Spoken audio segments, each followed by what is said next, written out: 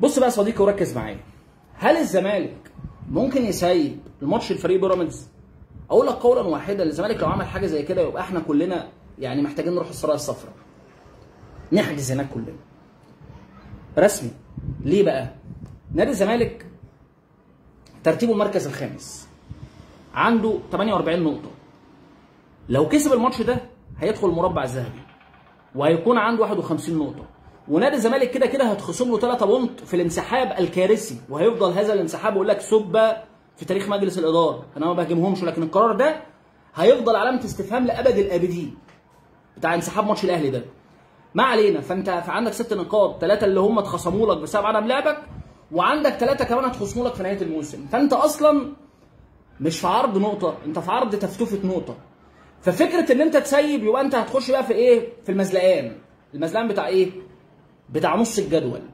ولو نادي الزمالك يقبل على نفسه إن هو يسيب لبيراميدز في سبيل بس إن هو يغتت على النادي الأهلي ويمحي تاريخ نادي الزمالك وينزل يكتشف آبار بترول في نص الجدول يبقى عليه العوض في نادي الزمالك وفي كل حاجة. والكلام ده مستحيل يحصل.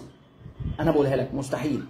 لأن هو إيه صاحب العقل بيميز. الزمالك إزاي هيفكر يسيب وهو أصلا في عرض أي نقطة؟ ووضعه صعب. وعشان يكسب يخش المربع الذهبي. ومستحيل يقبل على نفسه إن هو يخش في نص الجدول. إلا لو في قرارات اتخذت بين اللعيبة من جواها عايزة بيراميدز يعمل حاجة فأعتقد برضو إن حتى لو الزمالك سيب لبيراميدز بيراميدز مش هياخد الدوري.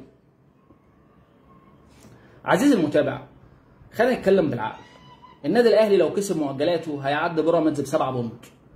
والنادي الأهلي مطالب إنه يخسر ثلاث ماتشات من ثمان من ثمان ماتشات تقريبا يعني تقريبا من النص.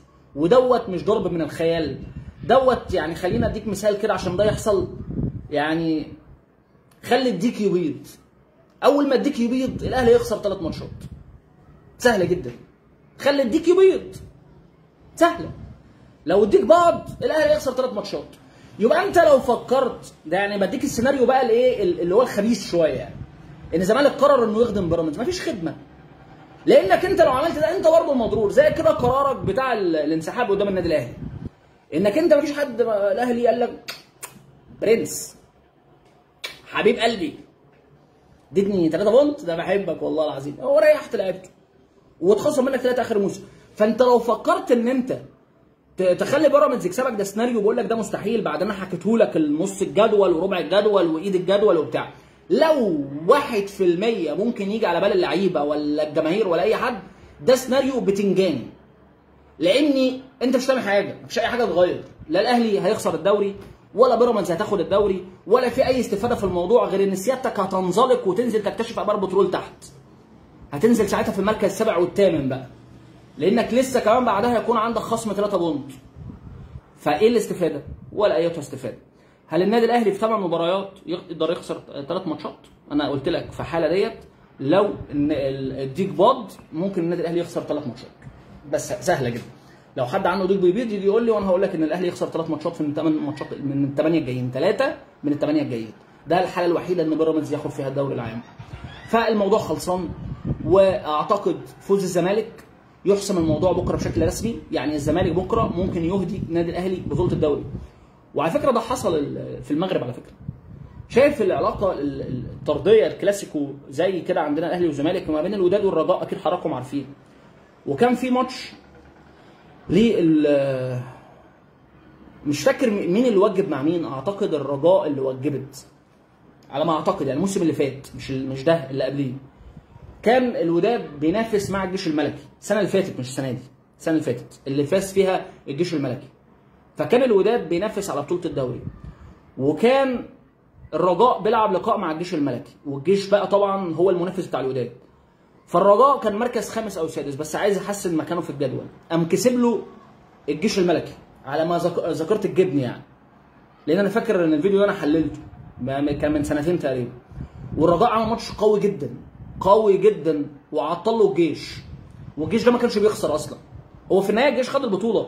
لكن عايز أديك على حتة إيه؟ حتة إن الفرق الكبيرة ملاش علاقة بقى أنت المنافس بتاعه ومش المنافس بتاعي أنا ليه علاقة بيا أنا؟ أنا هختم الدوري فين؟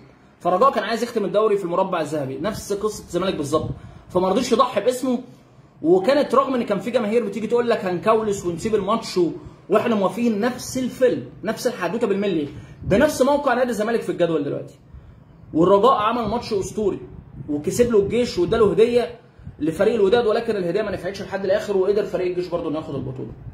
اللي أنا عايز أقوله يا جماعة بكرة لو الزمالك كسب فريق بيراميدز هيكون الأهلي لو كسب مؤجلاته هيكون الفارق هيصل ل 10 نقاط. و10 نقاط معنى كده إن النادي الأهلي مطالب إنه يخسر أربع ماتشات وكده سلامتها محاسمه كده خلاص. يبقى بكرة الزمالك لو فاز على بيراميدز هيكون الدوري راح للنادي الأهلي بنسبة 99.9 من عشرة. وأنا من وجهة نظري هيكون 100% يعني هيكون الموضوع اتحسن. حتة الزمالك يسيب أنا شرحتها لك. حتة الزمالك يتراخى برضه قلتها لك. حتة الزمالك حتى يتعادل مع بيراميدز عشان يطلع كله حبايب هيكون وقع بيراميدز في نقطتين وبيراميدز أصلا في عرض أي نقطة. فحتى التعادل لمصلحة الزمالك إنه يبقى مركز خامس ويضحي بالمربع الذهبي ولا لمصلحة بيراميدز. ما حدش مستفيد بيراميدز هيكون خسر نقطتين كمان زائد السبعة اللي راحوا منه هيكون تسعة بونت. طب إيه الاستفادة؟ آه بيراميدز كسبت الزمالك. الزمالك هينزل تحت يكتشف ابار بترول. وبيراميدز مش هياخد بطولة الدوري. طب الزمالك كسب بيراميدز آه الزمالك هينط ويخش في المربع الذهبي يبقى الوحيد اللي مستفيد الزمالك. وبيراميدز كده كده بطولة الدوري أصلا رايحة منه فالموضوع محسوم. فحتة ال fair play هتكون موجودة.